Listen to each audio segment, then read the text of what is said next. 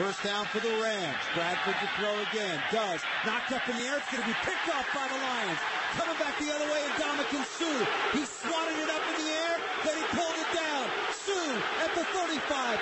Suh at the 30.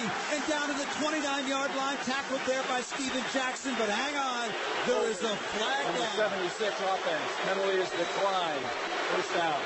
Late in that play, Cliff Avril came in to take the spot of Kyle Vanden Bosch. He got outside on Saffold, and he absolutely got tackled. That was the holding call.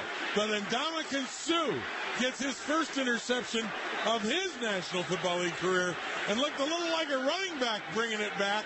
And wasn't it fun to watch Steven Jackson try to big down, bring down that big guy? How many big defensive tackles can bat that up in the air and then come down with it?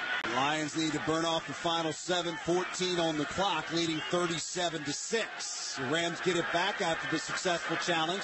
Second and 10 from their own 35. Bradford out of the shotgun. Pressure throws, picked off by the Lions. Coming back down the right sideline, Alphonso Smith.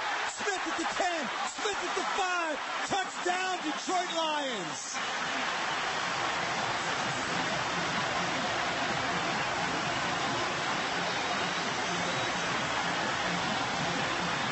Kind of wish they'd save some of these points for another day, but it's awful fun while it's happening, isn't it? Wow, what a nice play by Smith. Not to be cheeky, but this is how the other half lives. Yeah. This is fun. Yeah, this will be this is this is workable here. 42 yard interception return.